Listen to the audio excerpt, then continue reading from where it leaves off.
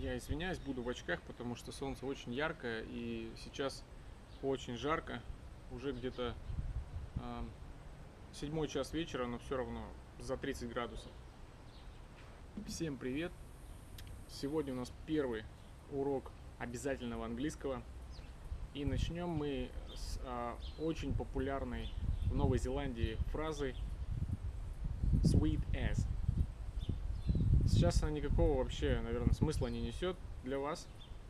Sweet as. Что это такое? Это, по сути, уже сленг. И он в обиходе. И он внедрился в этот обиход очень сильно. И новозеландцы любят употреблять эту фразу, когда надо, допустим, под, э, одобрить что-то, что-либо. Или, э, к примеру, ну, когда говоришь там, не знаю, вот, допустим, человек сделал какое-то хорошее дело, и ты бы за место спасибо ты ему говоришь sweet as. То есть, в принципе, ты должен сказать sweet as what?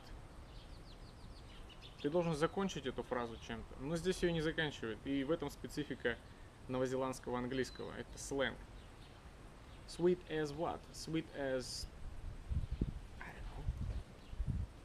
И поэтому э, Сначала было непонятно, но потом вот привыкаешь постепенно и начинаешь употреблять. Это вот все на сегодня. Я приведу транскрипции и английское, английское написание. То есть, то есть эту фразу можно употреблять за место спасибо, грубо говоря. Sweet as. Sweet as, bro. Урок новозеландского обязательного английского завершен. На сегодня это все. И увидимся с вами в следующий раз буду продолжать похождение по словарю Киви. Bye.